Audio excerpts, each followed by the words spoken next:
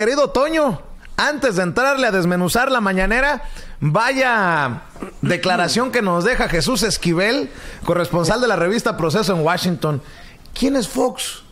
¿Quién es Calderón? Yo, yo no los puedo olvidar, Vicente, si te soy perfectamente honesto. Yo, yo en definitivamente no puedo olvidar a un Vicente Fox, eh, especialmente porque me llegan las alertas de sus tweets constantemente. Eh, yo para, para poderlo compartir con ustedes eh, y, y, porque dice pura locura, porque se volvió ya pues en no solamente en el presidente de las botas, sino de las pijamas, de las declaraciones extrañas, de la locura.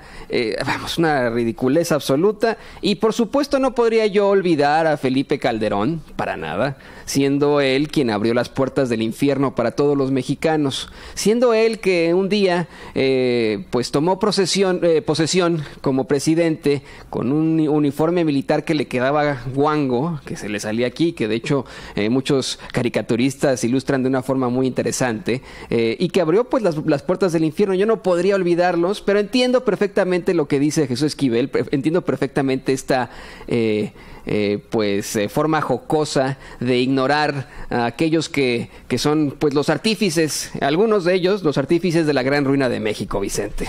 Ahora sí te saludo con todas las de la ley. Mi buen amigo Antonio Toño Ruiz en los controles de esta nave. Déjame preguntarte, Toño. Después de tantos jaloneos, después de tanta polémica, después de recibir tantos insultos, mentadas de madre, nos dieron hasta por debajo de la lengua por nuestras opiniones, y, y me, me, refiero a redes sociales, por nuestras opiniones sobre el actuar del presidente Andrés Manuel López Obrador para darles escolta militar al expresidente Vicente Fox y al expresidente Felipe Calderón. ¿Crees que estábamos equivocados en el debate? Te ¿No? lo pregunto porque yo sigo sosteniendo que es un error. Respetuosamente lo digo, constructivamente lo digo. Aquí no hay intención de golpear ni decirle, oiga, por esta equivocación o por este error de Andrés Manuel López Obrador de darle escoltas, traicionó al pueblo de México y hay que... No, no, no, no, no. Yo... Relajados. Pero simple y sencillamente sigo sosteniendo que fue una equivocación. No sé si lo chamaquearon como tal, como dice Julio Astillero, pero sí creo que se apresuró, se precipitó el presidente Andrés Manuel López Obrador al reaccionar a un tuit, porque él mismo dice que casi de inmediato gira órdenes al secretario de la Defensa Nacional, me refiero al caso de Vicente Fox, y de alguna manera siento que es un error del presidente, después de varios meses, callarse o no decir nada sobre las escoltas que ya le había asignado a Felipe Calderón. En ese sentido, respetuosamente, ahí queda nuevamente mi crítica. Mira, Vicente, primero quiero saludar al público consentidor que ha sido eh, también eh, público crítico. Eso me gusta muchísimo, que estén ejerciendo este su espíritu crítico. Eh, pero le pediría yo precisamente al público en general que no solo, no solo ejerce ese espíritu crítico hacia los detractores de López Obrador o hacia los eh, pues que conforman este espacio sin censura o sus invitados, si de pronto nosotros, y esto va a sonar a verdadera, eh, una verdadera, un, verdadero enredo, eh, si nosotros criticamos a López Obrador. Hay que, creo, en mi opinión, debemos tener todos nuestro, pues, nuestra propia idea sobre algo. Eh, y no podemos estar pensando que pertenecemos a un equipo de fútbol en, en, en, nuestras vidas, ¿no? Nos casamos con un equipo y pase lo que pase, vamos a amar ese equipo de fútbol. No, yo me di cuenta eh, con eso cuando era niño, porque pues le iba uno otro, eh, y bueno, ese equipo en realidad no nos representa de tal forma. A lo mejor es escasa esta analogía al referirse a un presidente que en efecto en ningún momento hemos podido, ninguno de los periodistas, eh, ya sea de centro, liberales, conservadores, fifís o como usted quiera llamarle, en ningún momento se, le han podido a López Obrador demostrar algún, algún ápice, eh, alguna, algún hilito de corrupción, eso, eso para nada, ¿no? Entiendo perfectamente, entiendo perfectamente también, Vicente, que haya una esperanza absoluta por ese Andrés Manuel López Obrador y su cuarta transformación. Después de 12 años de fraudes que le hicieron, esa es una realidad y que hoy pues tiene un, un, un plan, un proyecto de, de, gobierno fantástico para los mexicanos. La realidad, señoras y señores, es que no se puede equivocar. Eso se lo dijimos desde el primer día, desde, el toma, desde la toma de posesión cuando estábamos caminando por las calles del centro histórico, eh, nos abordaron muchos de ustedes y yo les pedí a ustedes una y otra vez que, que siguieran con ese espíritu crítico, que no, se le, que no, no le entregábamos a López Obrador un cheque en blanco. Dicho esto, yo le quiero pedir al público consentidor, por favor, que tengamos la madurez suficiente para saber cuándo una persona puede regarla. Una persona se equivoca, porque somos seres humanos. Eh, el presidente puede equivocarse y si se equivoca, se le puede criticar, no pasa nada. Aunque usted eh, esté de acuerdo, aunque usted lo siga, aunque, para usted parezca que es eh, verdaderamente el mejor proyecto de, nación, el que tiene, el hecho de que se le critique no va a afectar de ninguna forma al presidente. Es, es todo lo contrario. Es para que el presidente pueda darse cuenta de lo que está pasando, para que diga, bueno, a lo mejor sí la regué en responder de inmediato a un tweet de un tipo que constantemente dice locuras, porque eso es lo que, o sea, una y otra vez dice locuras, eh, y que me ha atacado una y otra vez, ¿no? Entiendo también, Vicente, eso te lo quiero decir. Creo que es entendible del todo que eh, pues López Obrador se pudiera sentir responsable de pronto si algo le pasa a Fox, porque la gente no quiere a Fox, y, Fox es uno de sus detractores, y Andrés Manuel López Obrador ha hablado una y otra vez de él en las conferencias mañaneras, ¿no? Entonces es ¿Y a lo mejor se va a ser responsable de sí mismo? ¿Cuántas veces tenemos que decir que necesita una mejor seguridad del presidente Andrés Manuel López Obrador? No los expresidentes, el presidente en funciones. Si tan responsable se siente de los expresidentes, pues que nos haga caso a esos que le hemos pedido que redoble la seguridad, que se haga un, equipo de seguridad choncho y militar. O sea, trae a estos que no estoy diciendo, no, no, no los estoy demeritando ni, ni buscando menospreciar pero trae a estos de su equipo, ¿cómo le llama? De, bueno, a estos que no son necesariamente expertos en seguridad. que dice que pero no mames, o sea, pues si es responsable de los expresidentes, que se haga responsable de sí mismo y dejémonos de tonterías. Solo por ahí mi comentario. Definitivamente, ¿no? Es un equipo de 12 mujeres, hombres eh, que tienen carreras desde comunicación, de hecho, eh, son ingenieros, etcétera, pero, pero no, no escuchamos, al menos yo no conozco a ninguno de esos eh, 12 pares de Francia, no, casi casi. Yo no conozco a ninguno de esos 12 que así no, no, no le puedo decir. Yo desconozco y no nos dan a conocer si eh, estas personas tienen algún tipo de adiestramiento táctico en seguridad. Mm. ¿No?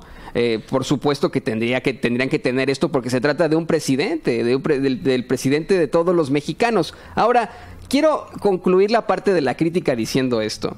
Eh, el hecho de que usted critique a un presidente al que usted apoye, si usted quiere, o, al que usted admire, eh, no significa que lo está traicionando ni se está traicionando a sí mismo no significa que eh, el, hecho de decir, chin, yo ya voté por este, esta persona ya, eh, tiene, tiene la, la, vía para, para, hacer lo que sea, eh, porque si se equivoca, pues me equivoco yo. No, no se está equivocando usted. vamos a ponerlo de esa forma, pensémoslo así.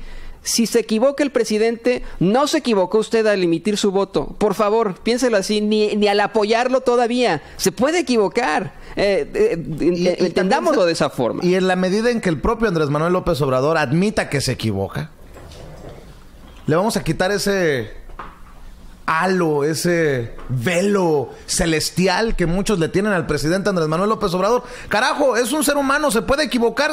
Hay que señalarle cuando se equivoque para que evite equivocarse. Punto, se acabó. Pero hay muchos que dicen, no, hay que darle el beneficio de la duda. No, es que si el presidente está muy cabrón, porque... A ver, por cierto, les quiero decir que ya le pasé los saludos de muchas personas de ustedes a mi mamá. Dice que aguanta vara por su hijo y que ella acepta ser la señora cebra de tantas rayadas que me han dado, tantas mentadas de madre. Para que no se... No se... Eh, eh, no se exasperen. No se exalten. No pasa nada aquí. Es más, Hoy vamos a reconocer cosas que dijo el presidente Andrés Manuel López Obrador hoy en la mañanera. Y por eso nos vamos a convertir en matraqueros y en aplaudidores. Sí, no, esa, es la, esa es la bipolaridad. Bueno, no sé si...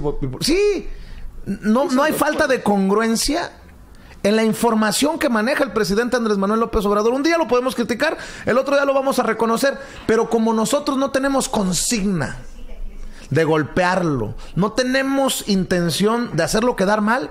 Pues espero que así se entienda, ¿no? No, definitivamente es eh, absolutamente necesario esa crítica. Es, es, necesaria la crítica. Se lo hemos dicho aquí una y otra vez. El periodismo es, eh, en definitiva, eh, una herramienta del pueblo para poder exigir a sus gobernantes y que estos eh, puedan actuar eh, de acuerdo a los, de, a los designios del pueblo. El periodismo funciona también, es, es, es, vamos, una, una, necesidad que usted se entere de todo lo que está pasando, para que usted pueda generar de, de, de esa forma un espíritu crítico y todos podamos crecer todos podamos crecer en una nación. Esa es una realidad. Y véalo usted con las naciones, los países eh, más avanzados del mundo. Eh, todos los países escandinavos tienen un manejo de la información absoluta, claro. una libertad de expresión sin problemas. Tiene usted eh, ahí a, a, a, Noruega, Dinamarca, Suecia, eh, vamos, países en los que no hay ningún problema eh, en, en, el manejo de la información y en las críticas, y que la gente está, está convencida de eso, Vicente. Por Son... cierto, le vamos a pedir a Ceci que nos haga el gran favor de buscar a Gerardo Fernández Noroña, a ver si lo podemos encontrar. Eh, Gerardo Fernández Noroña, el diputado del Partido del Trabajo, a quien hay que reconocerle, por ejemplo, su lucha para que el campo militar, ese campo número uno, en la cuarta sección del bosque de Chapultepec, no se convirtiera en, eh, en, espacio para construcción de vivienda para los militares, sino que se mantuviera como un pulmón de la Ciudad de México. Hay que reconocerle a Gerardo Fernández Noroña. Y también me gustaría que entráramos en el debate porque es uno de los personajes que me criticó uh -huh. mi crítica. ¿no? Y es válido. El propio Gerardo Fernández Noroña no, me dice, no se equivoca el compañero presidente, como él le llama a Andrés Manuel López Obrador. Y creo que es un debate sano entre visiones progresistas, por no decir que visiones de izquierda, hay que debatir con sí, Gerardo no, Fernández Noroña. To totalmente. Ayer lo teníamos con el maestro López Almejo, con Jesús López Almejo, eh, que nos dio evidentemente una crítica, eh, una crítica constructiva, una crítica decente, una crítica sobre la mesa, eh, no tantas rayadas. Y mire, lo voy a decir, no, no nos molesta tanto, no, vamos, no nos molestan las rayadas. También eh, mi, mi, madre está eh, al tanto de esto porque ve el programa todo el tiempo. a veces me imagino que comentará en el chat, no lo hagas mamá, por favor, más porque se van a dar cuenta. Y olvídate, no nos molesta eso, estamos al tanto, nos puede mentar la madre si usted gusta, no pasa nada, también ese es ese, espíritu crítico, pero, pero si nos va a mentar la madre, miéntenosla con, con, los pelos de la burra en la mano, con datos, con, con información, eh, trate de callarnos la boca, eh, con algo que, que, verdaderamente valga la pena, no con un, una ofensa ahí o con enojarse esa tarde y decir, no voy a ver sin censura porque acaban de criticar a López Obrador. Nah, hombre, pues... A ver, Toño, y para contestarle a Fernanda Cruz, dice, ¿eres un ególatra, Vicente? Sí, soy tan ególatra que les pido, por favor, que sean una audiencia crítica y que no crean ni en nosotros a ojos cerrados. ¿Qué? Hagan su tarea. Soy tan ególatra que les pido humildemente que no nos crean ni a nosotros a ojos cerrados y a nosotros también nos hace crecer esta retroalimentación, esta crítica. Ceci, ya tenemos a Gerardo Fernández Noroña. Bueno, eh, vamos a buscar a Gerardo Fernández Noroña, pero antes